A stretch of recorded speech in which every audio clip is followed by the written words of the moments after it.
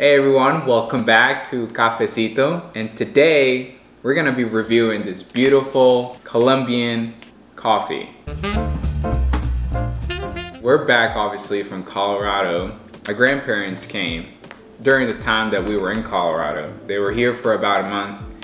Leila loves coffee as much as I do as well, and they've asked, they asked us before uh, coming here ahead of time something that we would like.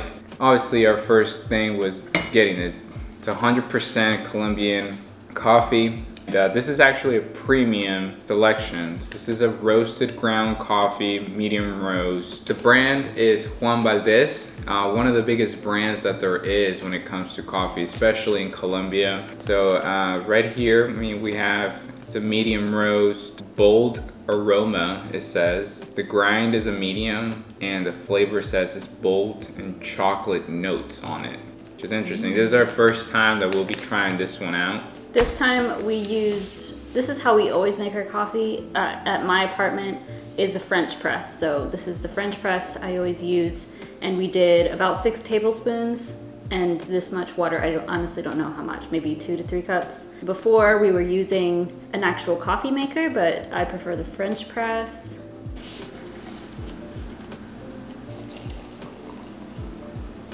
Okay, first up, let's smell.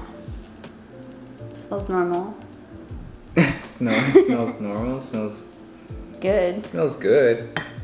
Uh, for some for some reason, it's just I feel like it's just sometimes with the French press. I'm not a big fan of the French press. I think that it's a lot better to have a regular coffee maker. I don't know why. I disagree because I think one, the French press is so cute.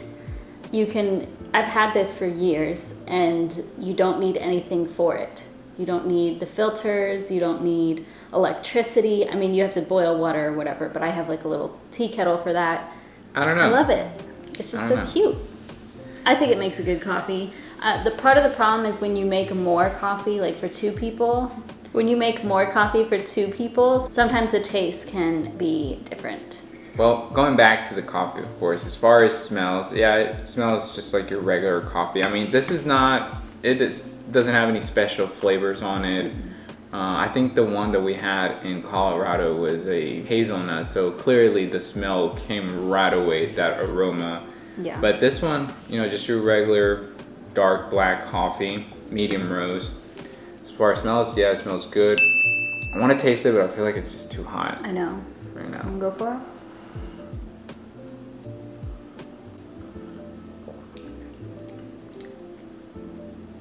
It's okay. It's it's just too hot for now. See, I go by my theory of letting it rest for a couple of minutes. I feel like we didn't let it rest it has a, an, an aftertaste that I can't.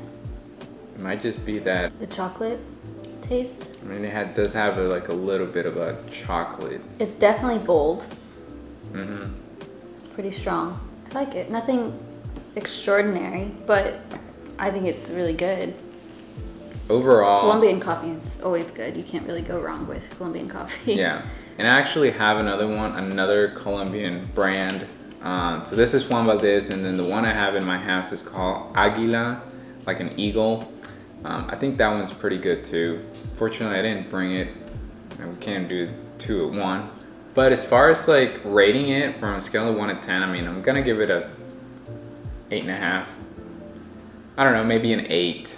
Uh, just cause it's, you know, just your, it tastes like your regular yeah. coffee. Seven and a half to eight, I would say. Yeah.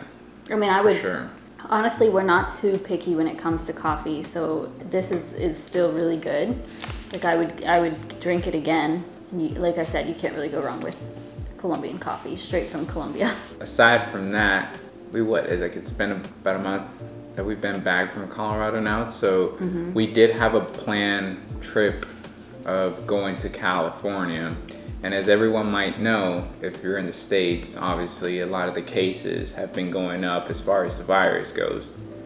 And unfortunately, we won't be able to visit. Again, we've been there before, but the whole plan was to take my parents because it would, it would have been their first time to go.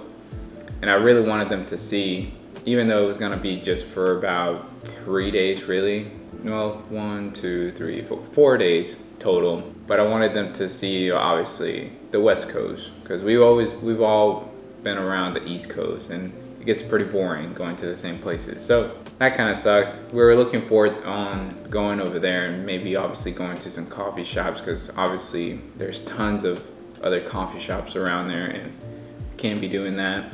We'll find some here. We'll find something here to be making some videos. I have a question for you then.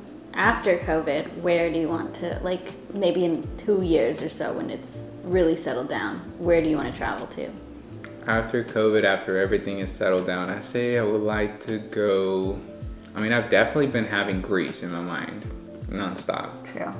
I've been, that's like my biggest, my biggest goal to go over there. I still say Costa Rica though.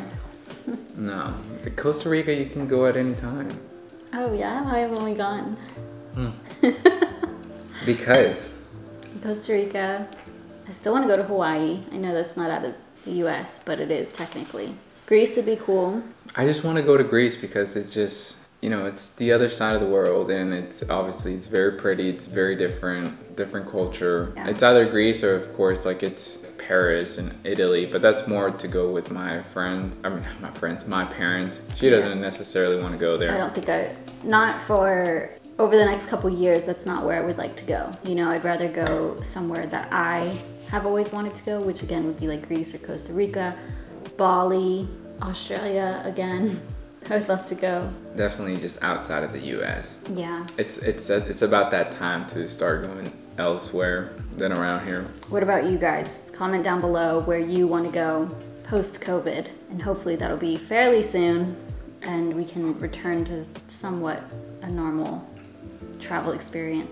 And also comment down below if you've tried any other Colombian brand. This is my personal favorite brand as far as like Colombian coffee does go. Obviously there's tons of other packages that's claimed to be Colombian coffee and most of them, or at least some of them don't really even taste that well. So comment down below if you've tried any other brand, any other flavors, um, or even if you tried, of course, obviously this brand. I'm sure it is available actually in Florida uh, because the population of Latins in Florida is pretty big, and I think they do have one like this down there. Other than that, uh, if you have any other recommendations, any other places, maybe around the Georgia state area, let us know and we'll check it out. Thank you so much for watching, and we will see you in our next video.